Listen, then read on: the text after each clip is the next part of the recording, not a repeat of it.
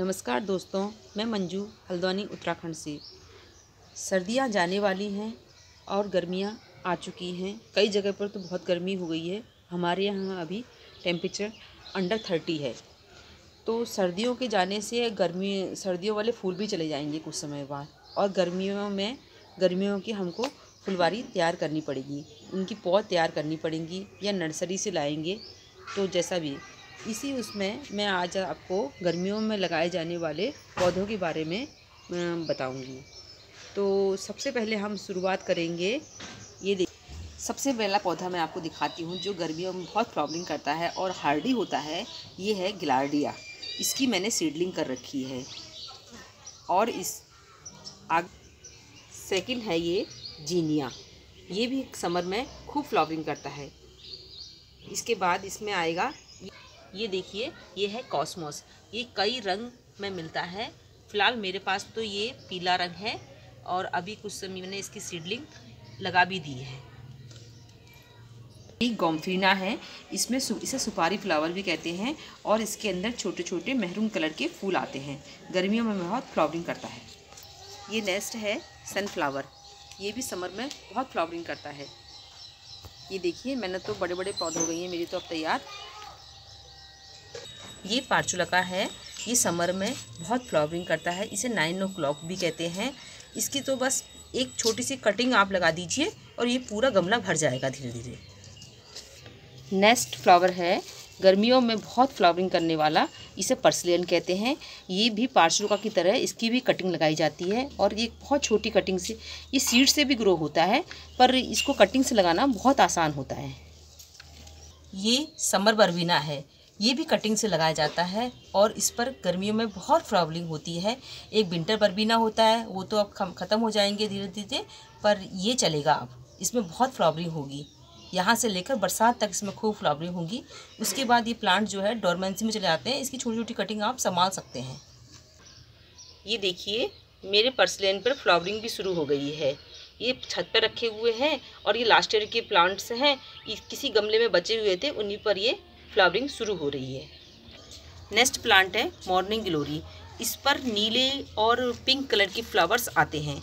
ये बेल नुमा प्लांट होता है और ये गर्मी में बहुत फ्लावरिंग करता है। नेक्स्ट प्लांट है आसानी से कटिंग से ग्रो किए जाने वाला बेबी सनरोज। ये देखिए, इस पर फ्लावरिंग भी शुरू हो गई है और ये मैंने छोटी सी कटिंग लगाई थी। देखिए, नेक्स्ट प्लांट ग्रो कीजिए आप समर में बिंका का। इसे सदाबहार भी कहते हैं। इसमें ये तो हाइब्रिड बिंका है और देसी बिंका भी होता है। देसी बिंका सफ़ेद और दूसरा एक कलर होता है ला, लाइट कलर दूसरा नेस्ट होता है उस पर मिलते हैं और ये जो हाइब्रिड वाला आता है ये बहुत सारे कलर्स में आता है। जो देसी बिंका है वो भी मैं अभी आपको दिखाऊँगी। ये हाइब्रिड बिंका है इसे ग्रो कीजिए आप। देसी बिंका सफ़ेद कलर का देसी बिंका पर्पल कलर का। इसके भी बहुत आसानी से बीज जहाँ भी गिरे होते हैं तो उनमें से बीज जर्मिनेट होकर प्लांट्स बन जाते हैं, उनको आप जगह जगह लगा सकते हैं। ये बहुत आसानी से मिलता है। इसको आप घर के बाहर भी लगा सकते हैं देसी पिंका को। ये बाहर जो है, इनको गाय वगैरह भी नहीं खाती हैं। ये देखिए, देसी पिंका है। घर से बाहर लगा हुआ है। इसकी कोई केयर नहीं होती है और देखिए, इसमें कितनी फ्लावरिंग आई है। ये देखिए कैना लिली का प्लांट है। ये मेरे पास लास्ट ईयर की कंद बची हुई थी, उनसे ही ग्रो हो गया है। इसको कहीं से आप एक बार इसकी एक बल्ब लगा देंगे तो ये उस समय फ्लावरिंग करेगा और उसके बाद नीचे जो है ये मल्टीपल होता रहता है और ये हर साल अपने फिर से उग आते हैं। नेक्स्ट प्लांट गर्मियों में बिना किसी केयर के खूब फ्लावरिंग करने वाला, जिसमें आपको कोई खाद नहीं देनी है, कुछ नहीं देना है, बस दो टाइम पानी देना है। ये है मैक्सिकम बिटोनिया ये तीन कलर में मिलता है। ये एक, इसमें मेरे पास जो है, ये ब्लू कलर की फ्लावर्स आते हैं, एक पिंक है और एक होता है वाइट जिसकी, इसकी हाइब्रिड वेराइटी भी आने लग गई हैं। पर इसको आप ध्यान से लगाएँ, ऐसी जगह लगाएँ क्योंकि इसके जो बीज गिरते हैं, इसकी जब फ्लावरिंग ख़त्म होती है, उसके बाद बीज बनते हैं उसके अंदर और वो बीज पानी के संपर्क में आने से फूट जाते हैं और जगह जगह इसके प्लांट्स तैयार हो जाते हैं। तो इसको थोड़ा सा किनारे पर, ऐसी जगह पर लगाएँ कि आपके पूरे गमलों में इसकी बीज ना गिरे। ये बहुत हैवी फ्लावरिंग करता है बिना किसी केयर के।